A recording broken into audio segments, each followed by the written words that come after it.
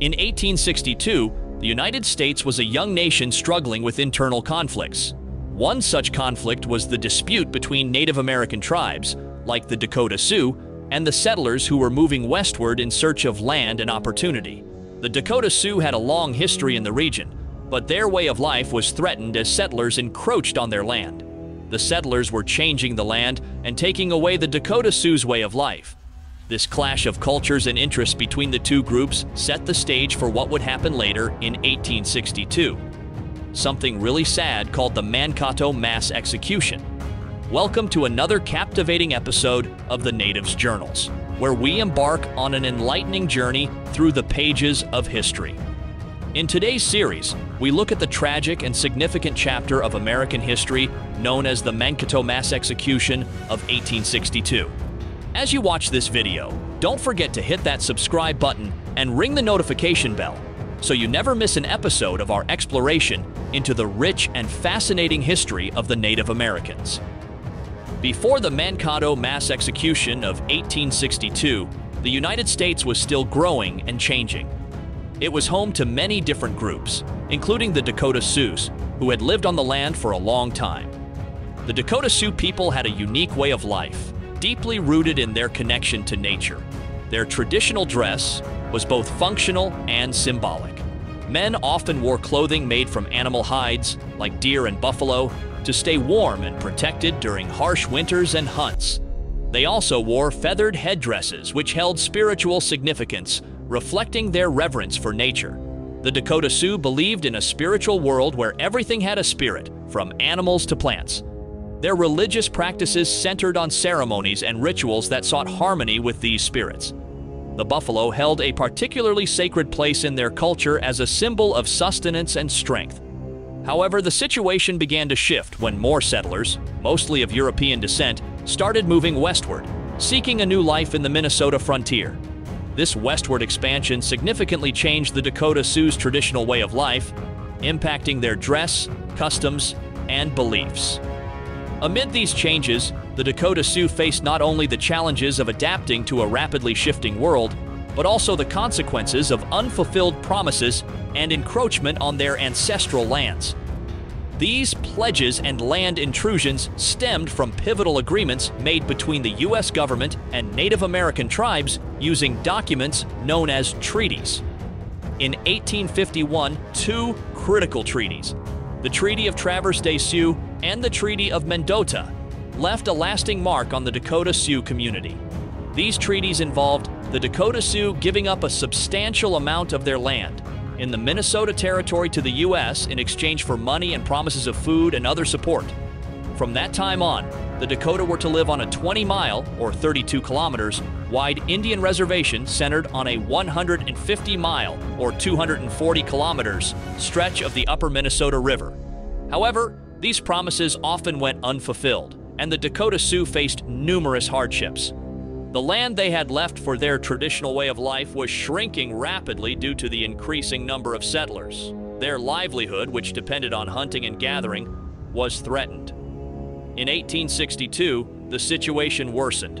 Poor crop yields and delays in government payments added to the Dakota Sioux's suffering. They struggled to provide for their families, and the commitments made in the treaties seemed like empty words. All these challenges created deep frustration and anger within the Dakota Sioux community. They felt cornered and saw little choice but to resist. In addition, much of the promised compensation went to traders for debts allegedly incurred by the Dakota at a time when unscrupulous traders made enormous profits on their trade. In 1858, when Minnesota became a state, leaders from different Dakota groups, led by Little Crow, went to Washington to discuss the existing treaties. However, instead of getting what they wanted, they ended up losing the northern part of their land near the Minnesota River. This was a big setback for Little Crow and the Dakota community. The land was then split into smaller areas for people to settle in. People started cutting down trees and farming on these plots, which caused the forests and grasslands around them to disappear. This disrupted the Dakota's yearly farming cycle, hunting, fishing, and gathering wild rice. Settlers also hunted a lot, which reduced the number of wild animals like bison, elk, deer, and bears. This meant less meat for the Dakota people in southern and western Minnesota and made it harder for them to trade animal furs with traders for other things they needed. Most of the land in the river valley couldn't be used for farming, and hunting wasn't enough to support the Dakota community anymore. The Dakota people were getting increasingly unhappy because they had lost their land, weren't receiving the money they were owed, previous agreements had been broken, and there were food shortages due to crop failures. Tensions kept rising throughout the summer of 1862. Meanwhile, on January 1, 1862, George E. H. Day, who was Special Commissioner on Dakota Affairs, penned a significant letter addressed to President Abraham Lincoln.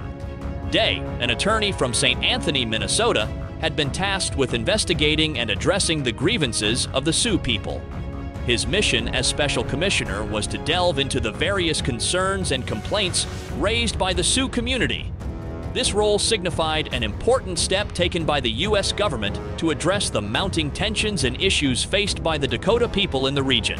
George E. H. Day's letter to President Lincoln served as a pivotal moment in history, marking the government's recognition of the troubles faced by the Sioux. It highlighted the growing need for a resolution to the conflicts and disputes that were simmering in the region. Following George E. H. Day's letter to President Lincoln in January 1862, a series of events unfolded. Day's investigation into the Sioux grievances brought attention to the deep-seated issues faced by the Dakota people, including broken treaties, land losses, unpaid annuities, and food shortages. This increased awareness prompted some initial efforts to address these concerns. On August 4, 1862, leaders from the Northern Sisseton and Wahpeton Dakota bands gathered at the Upper Sioux Agency on the reservation's northwestern part. Their goal was to negotiate for food, and their efforts were successful.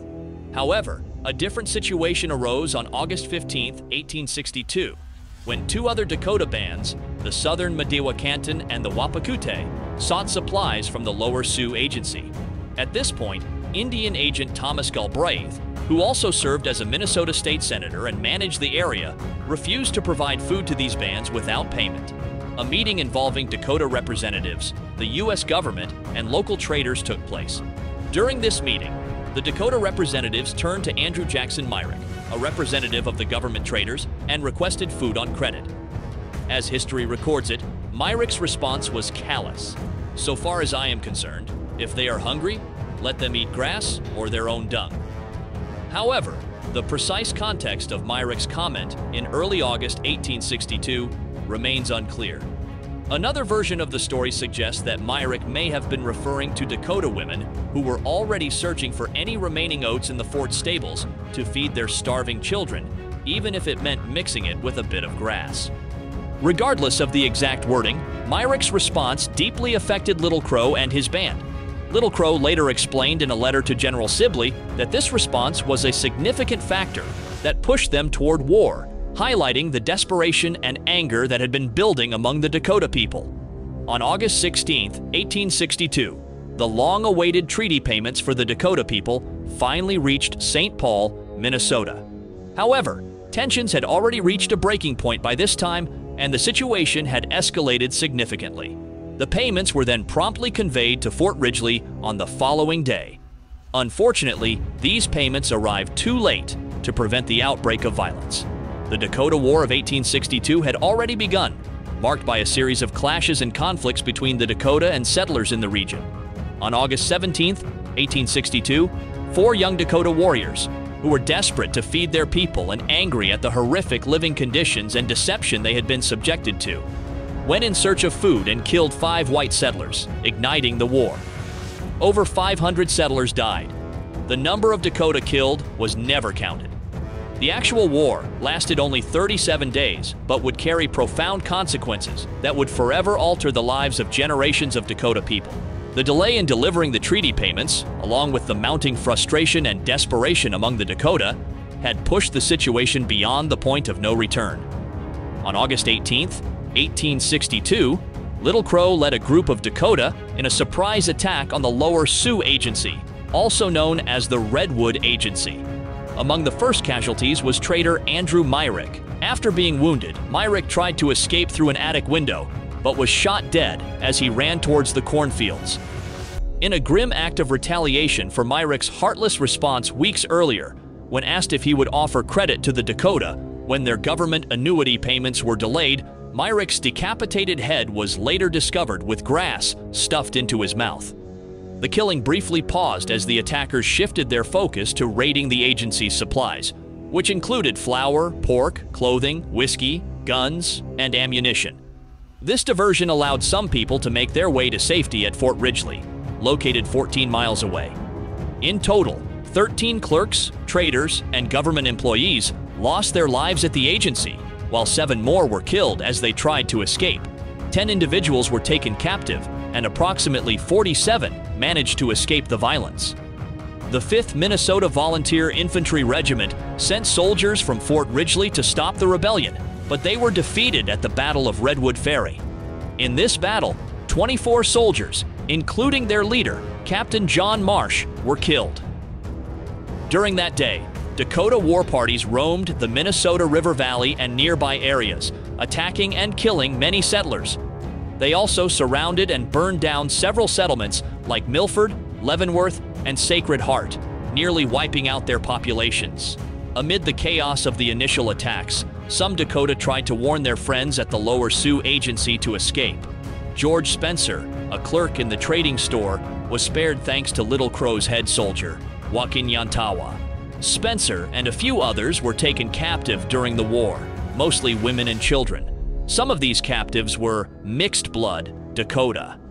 Even though there were threats against mixed blood settlers, the warriors showed restraint when reminded that killing them could lead to retaliation from their full-blood relatives. In the early days of the conflict, the Dakota leaders faced a dilemma regarding the captives they had taken. Some, like Big Eagle, believed these captives should be returned to the fort. However, Little Crow insisted on keeping them as hostages because he thought they were valuable for the war effort and could be safer with the Dakota. Initially, the soldiers who had captured these captives were responsible for caring for them. But as time passed, the task of feeding and looking after the prisoners was shared among more families in Little Crow's camp. The topic of rape and abuse of captives during the Dakota War is contentious. Of the white women and girls taken captive during the conflict, some were between the ages of 12 and 40. Historian Gary Clayton Anderson suggests that most young girls and many middle-aged women were forced into what Dakota men considered marriage.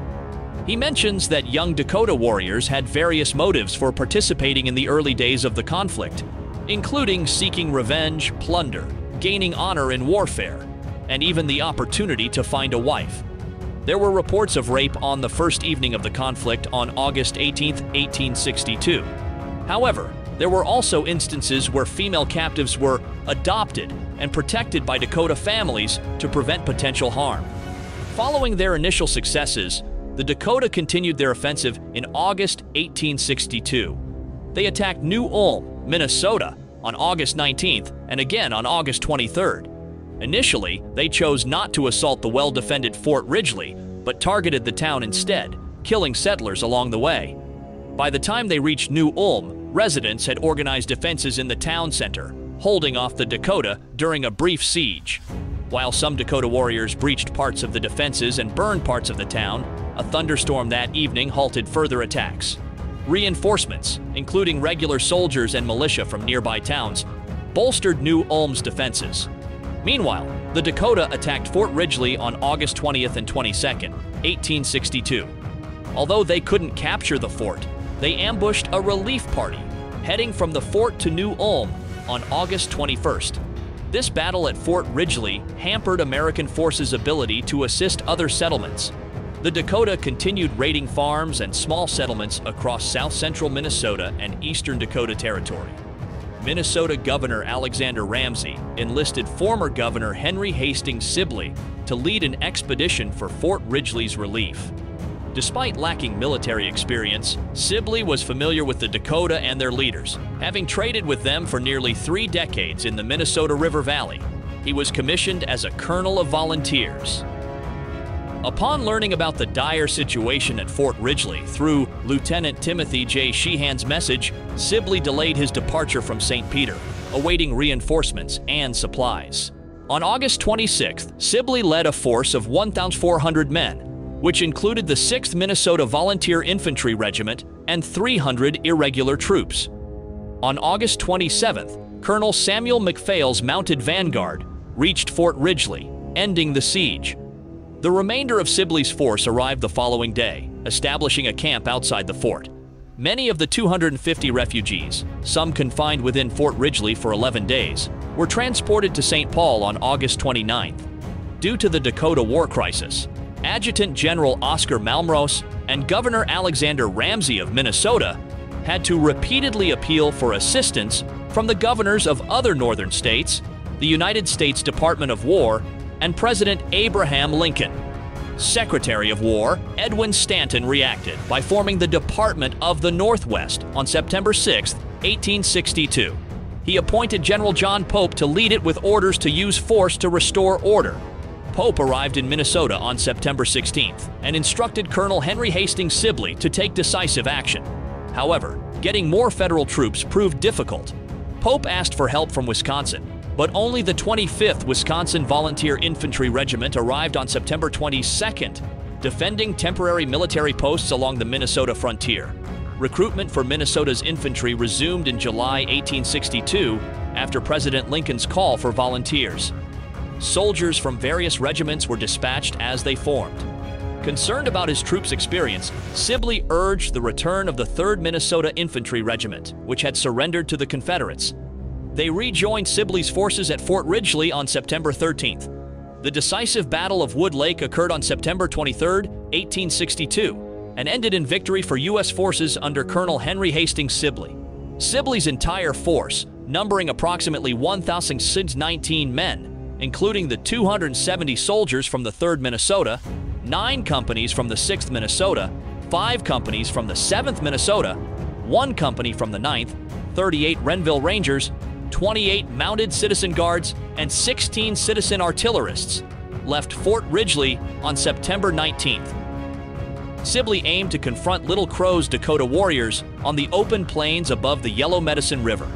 He believed his organized, well-equipped troops, with rifled muskets and artillery, had an advantage over the Dakota with double-barreled shotguns. Meanwhile, Dakota runners continually reported Sibley's movements.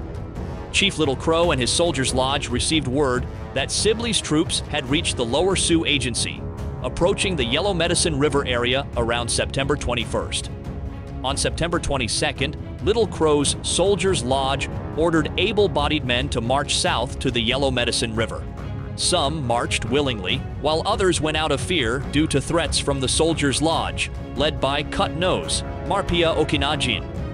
A friendly Dakota camp group also joined, aiming to prevent a surprise attack on Sibley's army. A total of 738 men gathered a few miles from Lone Tree Lake after learning of Sibley's camp. A council was held, and Little Crow proposed a nighttime attack on the camp. However, Gabriel Renville and Solomon Two Stars strongly opposed the plan, arguing that it underestimated Sibley's size and strength, deemed a nighttime attack as cowardly, and predicted failure due to a lack of support from them and others. Upon seeing the Army's fortified camp with breastworks, Rattling Runner and the hostile Dakota leaders decided to delay their attack. Instead, they planned to strike Sibley's troops as they marched toward the Upper Sioux Agency the next morning. On the night of September 22nd, under cover of darkness, Little Crow, Chief Big Eagle, and others discreetly positioned their warriors in tall grass along the road, ready to ambush Sibley's unaware troops at daybreak.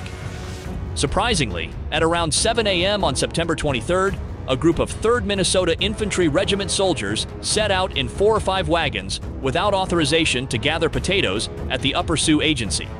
About half a mile from their camp, as they crossed a bridge and ascended onto the high prairie, Dakota warriors ambushed the lead wagon belonging to Company G, it was attacked by a squad of 25 to 30 Dakota warriors who sprang up and began shooting. This event sparked the Battle of Wood Lake. Major Abraham E. Welch, without waiting for orders, led 200 men in skirmish formation but eventually retreated, as instructed by Colonel Sibley, with most casualties occurring near the stream. After the 3rd Minnesota retreated across the creek, they received reinforcement from the Renville Rangers, a unit consisting mainly of mixed bloods under Lieutenant James Gorman, sent by Sibley. The Dakota forces formed a fan-shaped line, posing a threat to their flank. To counter this, Sibley ordered Lieutenant Colonel William Rainey Marshall, along with five companies of the 7th Minnesota Infantry Regiment and a six-pounder artillery piece under Captain Mark Hendricks, to move to the north side of the camp. Two 6th Minnesota Infantry Regiment companies were also sent to support them. Marshall deployed his men in dugouts and a skirmish line, advancing slowly and then charging, successfully driving the Dakota back from the ravine. On the extreme left, Major Robert N. McLaren led a company from the 6th Regiment around the south side of the lake, defending a ridge overlooking a ravine and defeating a Dakota flanking attack from the other side. The Battle of Wood Lake concluded after approximately two hours when Little Crow and the Dakota warriors retreated chaotically. Chief Mankato was killed during the battle by a cannonball. Big Eagle later explained that many Dakota fighters, numbering in the hundreds, couldn't participate or fire a shot because they were positioned too far from the action. Sibley chose not to pursue the retreating Dakota, primarily due to lacking soldiers. Following his orders, Sibley's troops recovered and buried 14 fallen Dakota warriors. While the exact number of Dakota casualties remains unknown, this battle effectively marked the end of the war. Sibley's forces suffered seven fatalities, with another 34 seriously wounded. At Camp Release on September 26, 1862, the Dakota Peace Party handed over 269 former prisoners to Colonel Sibley. These included 162 mixed bloods and 107 white hostages, mainly women and children, held by the hostile Dakota camp. As Little Crow and some followers fled to the northern plains, more Mdewakanton warriors from battles quietly joined the friendly Dakota at Camp Release in the following nights. They were persuaded by a desire to avoid winter on the plains and Sibley's promise to punish only those responsible for settler killings. The Dakota warriors and their families who surrendered underwent military trials between September and November 1862. Of 498 trials, 303 men were found guilty and initially sentenced to death. President Lincoln had the ultimate say in the fate of the 303 men sentenced to death. Lincoln reviewed the trial transcripts and approved 39 executions, though one was later suspended. Just before the execution, the convicted men were moved to Mankato. At the same time, 1,758 natives and mixed bloods, including their families and the friendly Dakota, were relocated to a compound south of Fort Snelling. On the morning of December 26, 1862, Dakota men were hanged in Mankato, Minnesota, under the orders of President Abraham Lincoln. They were hung from a gallows, designed specifically for the execution, and killed in front of an estimated 4,000 people who lined the streets of Mankato to watch the hanging. Historical accounts document that the men held each other's hands and sang a Dakota song in the moments leading up to their deaths. This was the largest mass execution in United States history. The Dakota men convicted of war crimes faced different fates. Some were transported to Davenport, Iowa, where they were imprisoned for three years before their eventual exile. Those interned at Fort Snelling were placed on steamboats and sent to a reservation in Crow Creek, South Dakota. Today, the majority of Dakota people continue to live in exile, residing in locations like Nebraska and South Dakota.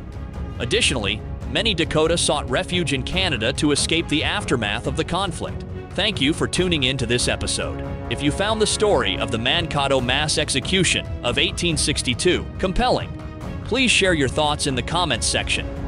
Also, don't forget to subscribe to our channel to stay updated with our captivating history and facts videos.